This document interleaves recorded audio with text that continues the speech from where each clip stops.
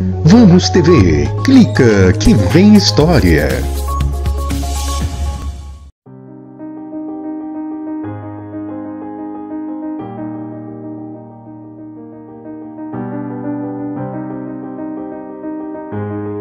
A 45ª edição da Mostra Internacional de Cinema de São Paulo está para começar.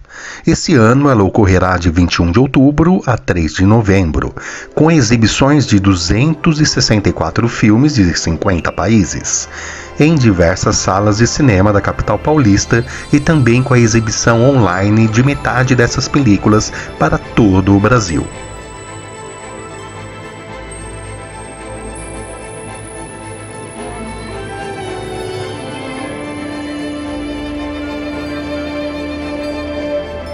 Não vá perder essa prestigiada mostra, famosa no mundo inteiro.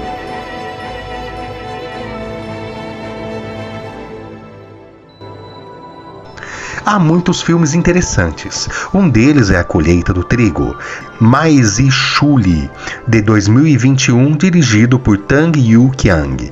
É um filme ficcional que aborda a questão das esposas conhecidas por mulheres abandonadas, que são deixadas nos campos de trigo pelos maridos que buscam emprego nas grandes cidades. Na história, uma delas se apaixona pelo vizinho e passa a ser insultada e ameaçada pela esposa dele.